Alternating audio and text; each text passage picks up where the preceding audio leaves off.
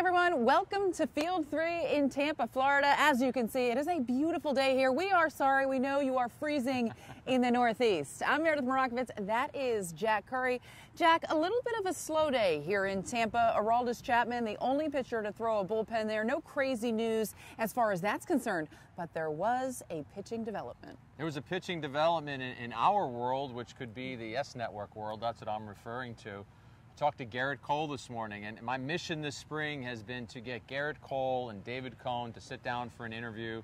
I want to moderate it for selfish reasons because I want to hear what they have to say about the art of pitching. And Cole said, I'll do it. He said, sure, when, when David gets here, let's try and work out a day. He said that he is aware when he was with the Astros that O'Neill and Cone were broadcasters for us. And I said, I just really want to pick both of your brains and talk as much pitching as possible. And if I may throw out a plug too, Meredith, I, I gave him a copy of, of our book. I said, here, Coney is a genius. There's, there's a lot of pitching wisdom in this book. And so he, he took the book. He was happy to get it. The interview needs to come next. Okay, here's my question. I am excited for the interview. That's going to be great stuff because I can listen to David Cone talk about pitching all day long, and I imagine Gerrit Cole is about the same way, just right. based on what we've seen from him here so far, the way he goes about his business, the bullpens, the way he discusses it with Aaron Boone, Matt Blake, the catchers, mm-hmm. everybody mm-hmm. thereafter. But what was his initial reaction when you handed him the book? Did it go right in the locker? Did it go right in the bag? I know it didn't go in the garbage. It's well, too good a book for well, that. well, here, if, if, I'm going to tell the truth here. I put it in a manila envelope because I really wanted to be discreet, and I handed it to him in the envelope. He took it out of the envelope, and he said, "Did you sign it?" Oh, come and on, I, you, you got a little did you get a little excited. I was wow, flabbergasted cool. because cool. I've never had a major league player essentially ask me for my autograph. So again, trying to walk along that road of discretion, I said, when David gets here, we'll both sign it. And he repeated, yeah, man, you got to sign it. So that was actually a very cool moment. That is and I also cool. think it shows just what kind of guy Gerrit Cole is, and we're both getting the chance to know him better. And just a, a really good dude who I gave him something that was of interest to him, and, and he, he thanked me for it and wanted, wanted the John Hancock there. Pretty cool. Now, you're not going to like me for this. All right. I'm already, I feel bad before it even comes out. Do you think that he's seen the pitch and could we maybe get him to break down the pitch? Yes. With you and Cody. My guess A is no, he didn't, he didn't see my pitch. Uh, yes, if, if someone showed it to him, because he's a kind guy, I, think he would, he would say, be, he'd be, he would be kind and say, well, that wasn't probably your best first pitch but I'm clinging to the idea that I just had a lot of late movement on, on that pitch. I, that and I mean you were you were on a you were on the this side of the mound, so I, I, was having such a good day, and you had to bring that I'm up. I'm sorry. Huh? Do you hate me? Usually it's Paul O'Neill or Michael Kay who do that to me. Now it's Double M doing that to me. All right. I'm sorry. Last time, last time, I swear. Uh, as far as other pitchers are concerned, I know you asked Aaron Boone a little bit about Chad Green and his role on the team this year. Green was an opener so many times for the Yankees last year, Meredith, and it was needed, mm-hmm. and he did well in that role. I just wonder if this year, if his role is going to be different. Now, Aaron Boone didn't come right out and say, yes, absolutely different, but he did talk about his versatility.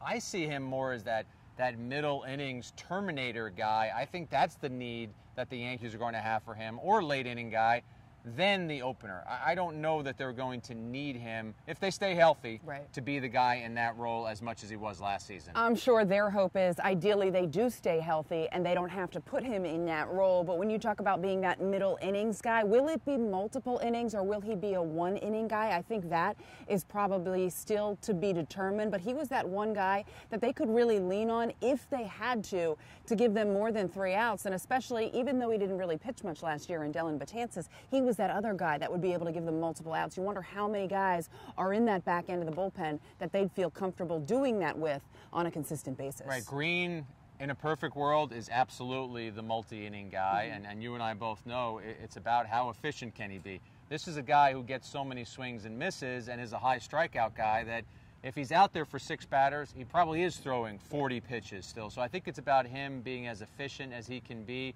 But I absolutely see him four four game, uh, five innings at Fenway Park. You're trying to keep the game right there. you you go to Green for the next two innings. You hope your offense does something, and, and then you have Ottavino, Britton, Chapman to kind of close that game out. We saw the opener for the first time, I believe, two years ago when the Tampa Bay Rays started doing it, and last year it seemed like more teams than ever adopted that policy. There is a little bit of a change to the injured list this year. Position players will remain at 10 days if they have to go on the IL. However, pitchers are back to 15. Because of that, and maybe there's not as much movement in shuffling guys back and forth, getting fresh arms from AAA, do you think we'll see less openers in general this season? I do, and I think that's a factor, what you just brought up, because when it was 10 days, th- think about a starting pitcher. You, you could put CC Sabathia on the DL, as the Yankees did a few times last year he could essentially miss one start because you could bring him right back on the day that he is activated and eligible and ready to pitch. So I think it remains an option for all teams, and Boone mm-hmm. talked about that the opener. But I do think the 15-day DL does limit your flexibility and and moving people up and down. Especially the way you're going to have to use the bullpen thereafter mm-hmm. that opener potentially, depending on what your situation is with your starting staff. I spoke a little bit to Luis Cessa today. He's a guy that's still vying for the fifth spot in the rotation, and he said business as usual. Yeah. This happens. He's almost like the Adam Warren updated Adam Warren because it would happen to Adam Warren every time he came into camp. Are you going to be a bullpen guy? Are you going to be a starter? Come in, prepare like a starter, and then we'll kind of go from mm-hmm. there to see where you fit. Yeah, and I think Cessa has shown this guy's a major league pitcher. Mm-hmm. He's a guy, a major league pitcher with, with four pitches. Last year, he didn't have any options left, so it, it was clear that he was going to be a guy who was going to be on the team. And I think he has value coming out of that bullpen. He challenges hitters. He's, he's got a durability side to him. So I think that's a pitcher that you can look to contribute to the Yankees in 2020. And because he has started a, a, little bit and he will be a little bit more stretched out, probably more as the long man, he would be able to give you mm-hmm. multiple innings if you needed to. But one thing he only did once last year was go back to back. Mm. You wonder if the Yankees consider doing that at all with him either end of this spring or throughout the course of the season. Right. I think they, they know their pitchers well and they know the ones that can and can't do that. They shied away from that, as you said last season, but any way of making himself more versatile and being able to do that is, is only going to help his chances of, of, being a bigger contributor. And that certainly depends on how many innings he pitches yes. in a game. You're not going to pitch somebody back to back if he goes three or even four innings, something crazy like that. Uh, the catchers were out there today. They took batting practice. They're doing a new thing this year where they're having him take batting practice first and then go through the rest of their catching drills. Do you agree with it? Do you think it helps? Sweeney Murti with a great eye yesterday. He's the one who asked Aaron Boone about that. I, I, look at that schedule every day and I hadn't noticed that difference. But yes, it makes sense that when you, it's a hot day here today, it's in the 80s. They didn't want the catchers to put their gear on once early in the day, take it off to go do other drills, put the gear back on now they know that at the time of the day where they put their gear on, it's staying on for the rest of the day, and they're doing their defense, they're doing their drills, they're catching their bullpens. I think it makes a lot of sense, Meredith. Have you noticed any differences with a new catching instructor in the fold? This is where I wish we had John Flaherty standing right here because I'm searching for differences, and we've asked about it. And Aaron Boone has talked about how they want their catchers to have their right knee just a little bit lower to the ground, a little more flexibility, crouched a little bit more. Boone has said it should help all aspects of their catching game, but you and I off air before we started to tape this, we're talking about that.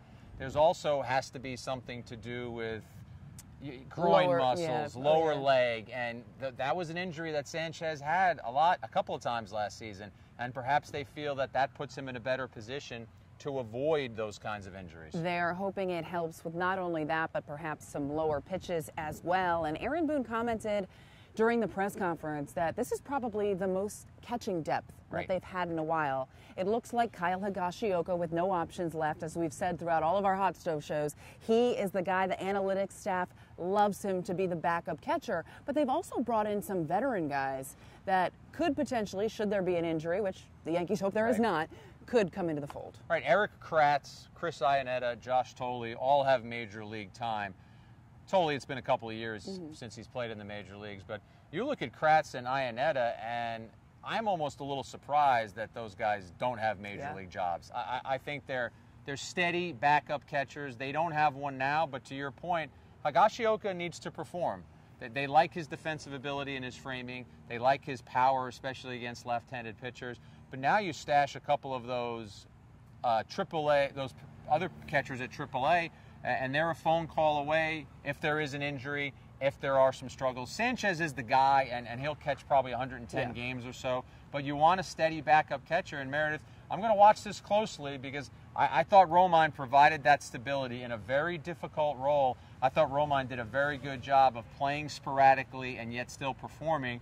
We'll have to see if Higashioka can do the same. It's not an easy thing to do. I spoke with Chris Iannetta a little bit, and he's a guy that has played a lot of years in the league. He said, It feels like I'm 21 again. I haven't had to do this in so long. He said he actually started working out about a month earlier than he normally does, knowing that he is going to need to hit the ground running day one and come not getting ready for the season at spring training, but be ready. Uh, to perform as soon as he gets here. Before we get going here, I need to make one comment, Jack. Fresh out the box, they look great. I- Check I'm- out those white shoes. I know. I'm, I'm, I'm finally competing with you, Miss Nike. These are Stan Smith's Cloud Foam. They might be the most comfortable uh, sneakers I've ever owned, but I've been wearing these since my Fordham days. wow. So, 30 plus years of wearing these sneakers. I'm a big believer in uh, clean white sneakers. Love it. Yep. The warning track dirt will Yes. ruin them shortly. Yes. All right, that is going to do it from George M. Steinbrenner Field. I should say Field 3, Yes. next to GMS. But before we get going, do you uh, want to race? Did you work out yet today?